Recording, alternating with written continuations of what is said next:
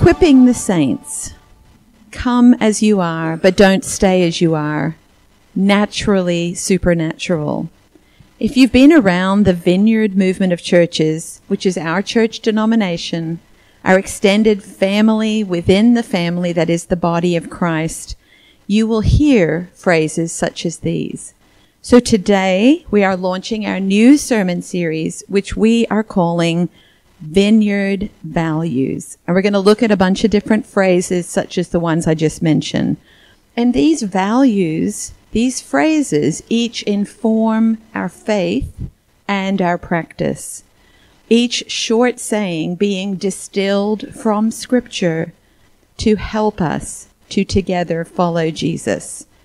So before we get started, I'm going to lay out a simple roadmap of where we're going today. And there's going to be three stops along our journey today.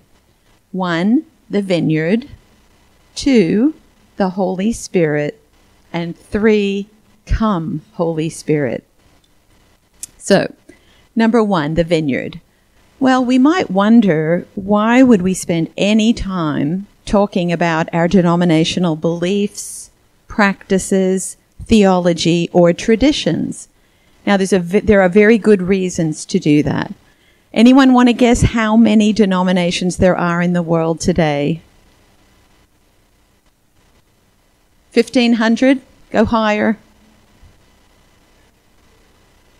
That's a very specific number. Thank you. Higher. Do even higher. Believe it or not, there are over 45,000 Christian denominations globally. And every single one of these, every theological tradition is both systematic and complex and they have a way of seeing the Christian faith as a whole. None of us arrived on earth during the short time that Jesus walked among us. We each received the Christian faith as it was transmitted to us through scripture and through the church. And in particular, as followers of Christ, we each received the Christian faith through those individuals and churches and ministries who proclaimed and demonstrated the good news of Jesus to us in word and in deed. And we can each thank God for and share stories about individuals, families, churches, and ministries who were influential in each of our journeys of faith. And Tamara, you mentioned you're a sweet mom today. So we each can think of people who have influenced us, and we thank God for each of them. Because, you know, all Christians tell, teach, sing, and show the same gospel story, but each faith, within each faith tradition, we have our own characteristic styles and emphases. Now, some things that happen in church may make us feel very uncomfortable especially when we don't understand or expect them. You may have had that experience if you visited a church that is far, fairly far away from your own faith tradition that you're used to. And some things that happen in church may make us feel right at home. Just as we each have a family heritage that is often complicated, where we like to emphasize some parts, embrace some parts, celebrate some parts, other parts we would prefer to forget, ignore, or discard. We also have a theological heritage and viewpoint. Now, here at Liberty Vineyard, we anchor our Christian faith in the beliefs, practices, theology, and traditions of the Vineyard movement. And the Vineyard movement itself is anchored within the beliefs, practices, theology, and traditions of what we call the Orthodox Christian faith. So we trace our lineage right back to the apostles and the creeds. So, as followers of Christ, you and I are here on a journey.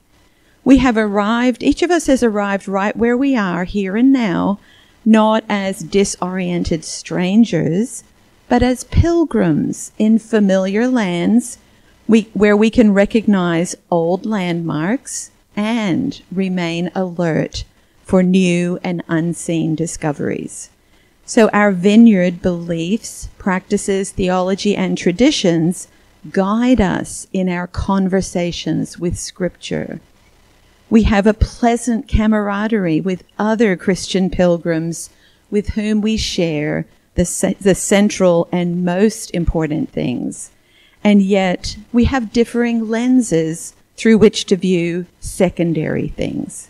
So we seek to walk in the wisdom of this well-known 17th century quote, in essentials, unity. In non-essentials, liberty. In all things, charity. So we make ourselves present to other Christ followers who are present with us and with those who have gone before. When we interact with other saints, whether in person or through their writings, we experience the unity and the joy of the body of Christ. And in humility, we can acknowledge that no person or group alone can see, know, understand, or practice the fullness of the gospel perfectly. So that's all a big introduction as to why we're studying vineyard values. Okay. that was a long introduction. So now we're going to move to second, the second stop of our journey, the Holy Spirit. So I want to read two paragraphs from the Vineyard Statement of Faith. And if you're interested, we have the Statement of Faith in entirety on our Liberty Vineyard website. And this section that I'm going to read is entitled The Ministry of the Holy Spirit. We believe that the Holy Spirit was poured out on the church at Pentecost in power baptizing believers into the body of Christ and releasing the gifts of the Spirit to them. The Spirit brings the permanent indwelling presence of God to us for spiritual worship, personal sanctification, building up the church, gifting us for ministry, and driving back the kingdom of Satan by the evangelization of the world through proclaiming the word of Jesus and doing the works of Jesus. We believe that the Holy Spirit indwells every believer in Jesus Christ and that he is our abiding helper, teacher, and guide. We believe in the filling of or the empowering of the Holy Spirit, often a conscious experience for ministry today. We believe in the present ministry of the Spirit and in the exercise of all of the biblical gifts of the Spirit. We practice the laying on of hands for the empowering of the Spirit, for healing, and for recognition and empowering of those whom God has ordained to lead and serve the church. Now, if you go to this statement of faith, you will see after every one of these sections a lot of scripture references. And I invite you to go there and visit those. Um, there's many, many ref- scriptures to accompany these paragraphs. So you probably recognize some of the phrases. They all come out of scripture as we see and understand scripture through our vineyard lenses founded on Orthodox Christian beliefs. So we're going to just look at two short scriptures among those many that were listed to see what we notice and learn about the Holy Spirit. So the first one is an Old Testament one, Joel 2, 28. Just one verse. It's a familiar promise. I will pour out my spirit on all flesh. Your sons and your daughters shall prophesy. Your old men shall dream dreams, and your young men shall see visions. Now, as with any scripture, anything that we read in the ancient world, but especially with scripture, we want to go back to the people to whom it was written and under, to help us to understand what was being said, how were they hearing it, how were they understanding it. So this is something interesting when, I don't know if you, if you imagine, well, what would the hearers have thought? So when Joel wrote this prophecy, it was well known and understood by the people of God that God did pour out his spirit on people, but only in a limited way.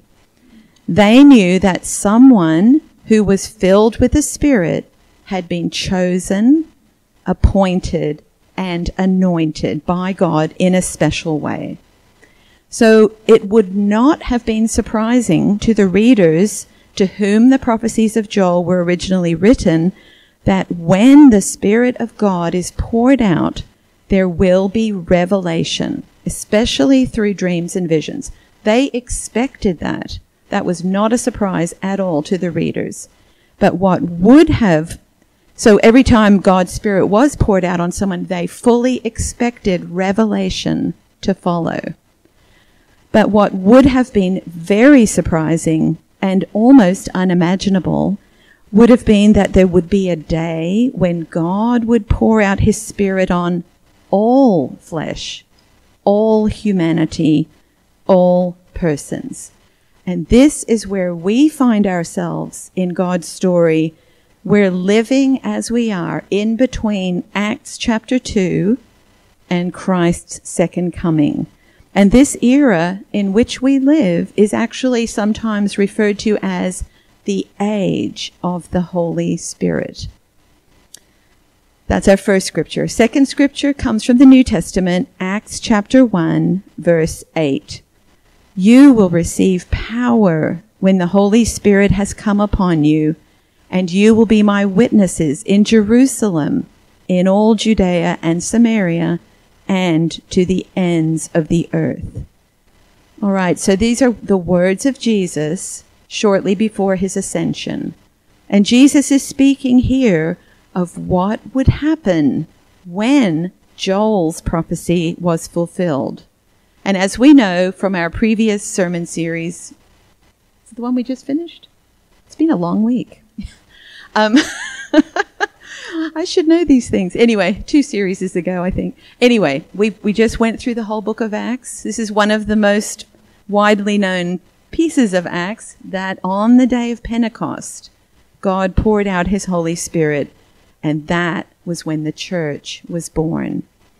The spectacular growth of the early church was not due to savvy promotion, growth principles. It's kind of laughable to think about that. Or even eloquent preaching. It was because of the power of the Holy Spirit. And whenever the Holy Spirit comes upon followers of Christ, we receive power, which enables us to do what Acts 1 8 says enables us to be Christ's witnesses wherever we go. This means that we actually become part of the good news of Jesus Christ because we are empowered and sent by the Holy Spirit. There is so much that we could say today about the Holy Spirit. We could do an entire series that would go for years and never mind the depths of the Holy Spirit. But today we're going to focus on what we call Holy Spirit gifts and fruits. Now, you and I and others we know may have heard a variety of teachings about these things over the years. We may have even done gift tests to try to figure out who we are, what gifts we've been given, how to operate in those gifts, and so forth. So no matter where we fall on the spectrum of belief about who can receive these and when, without getting tangled up in theological knots, I'd like to paint some broad strokes that I hope we will each find helpful. There are three major groupings which can be helpful in describing the work of the Holy Spirit. So the first main section you can see there, the gift, gifts of the Holy Spirit. This is different from what you or I might have heard when we talk about the gifts of the Spirit. There's, there's two different ways we can use the word gift, so bear with me if this seems a little bit unfamiliar. The gifts of the Holy Spirit is what the church at large has called for a long time what is given in Isaiah 11, 1 to 3. And these direct both our intellect and our will toward God. So I've taken the words that are often used and then tried to unpack it a little bit. So the first one is wisdom. And wisdom is a gift given to us to illumine our minds and attract us to God. The Holy Spirit gifts us with understanding, and that is to connect so that we would be able to connect all truths with God's purposes and to further our understanding of Scripture. The Holy Spirit gifts us with counsel to enable us to judge rightly and to see the will of God. There's a, here's a word we don't hear every day, but the Holy Spirit gives us with fortitude, which is to give us firmness of mind to be able to do good and endure evil. The Holy Spirit gifts us with knowledge to enable us to perceive things from God's perspective. The Holy Spirit gifts us with piety to be able to live with reverence for and in total reliance on God. And the Holy Spirit gifts us with the fear of the Lord, and that is to grow aware of the glory and majesty of God.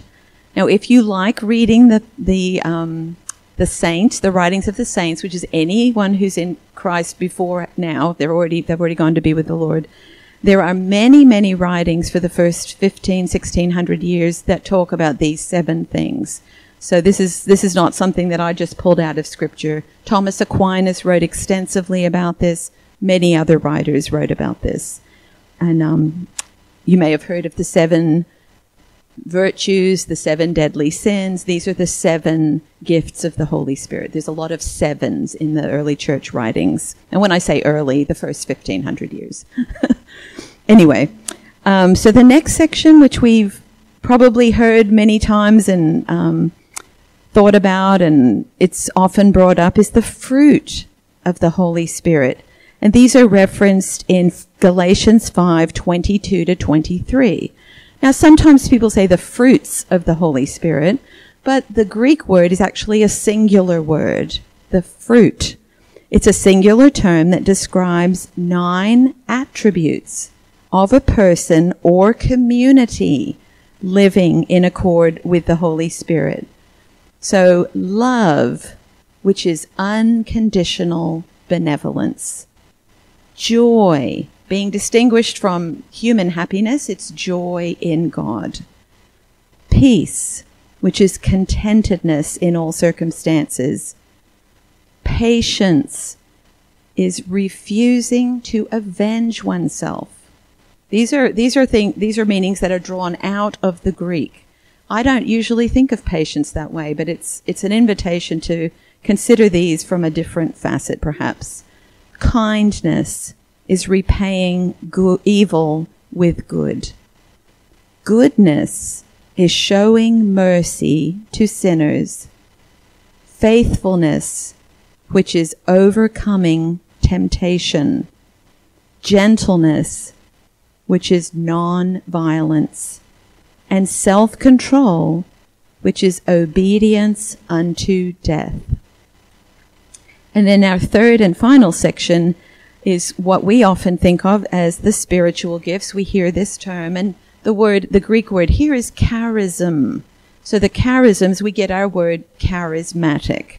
And these are extraordinary or supernatural grace and power given to individual Christians for the common good to build up the entire church. Now I wanted us to pay attention that the first two lists describe what the Spirit pours out on the whole church, not just individuals. Every, everyone partakes of all of those. Now, this third group, we don't all partake of all of these. We don't, I, I, don't know if the word partake is right, but we, we tend to not practice or see every one of these charisms in every believer. So that's just a distinction to notice.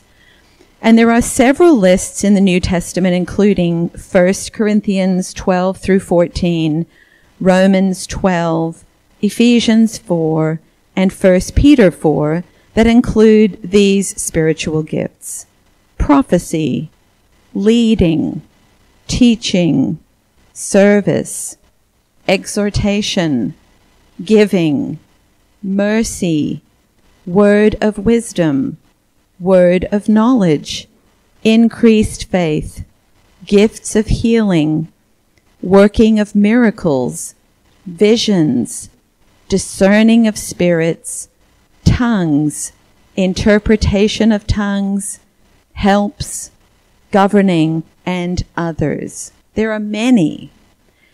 And that brings us to the end of our second stop along the journey, the final one, Come Holy Spirit. Now I realize that all this is such a lot to take in. I've read these passages many times in my life, and yet the Lord quickened several things to me this week in particular. We had just remembered the life of Dr. Martin Luther King Jr. on Monday, and I was really drawn to the idea that Holy Spirit gentleness has to do with non violence. So I've kind of camped on that this week. And as I felt frustrated and angry this week when I read about some of the evil being perpetrated in the world, I was awakened to a deeper understanding that Holy Spirit fortitude includes not only doing good, but enduring evil which is not just a passive endurance, it's kind of that grit that refuses to give up, even in the face of great evil. And as I admired, it's hard to remember it today, but it's sunny outside now. But on Wednesday, when I woke up and looked outside, there was this dazzling and delicate early morning frost. And it was a decidedly wintry day on Wednesday.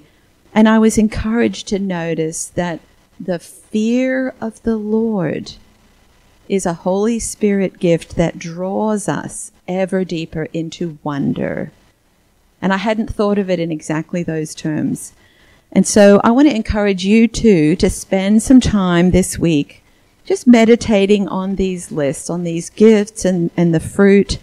Just sit with the Lord with these and allow the Lord to highlight to you and allow the Holy Spirit to pour into you whatever the Holy Spirit desires. And it's important, as important as it is to know who the Holy Spirit is, it's also crucial to invite and welcome the Holy Spirit to do whatever the Holy Spirit wants to do.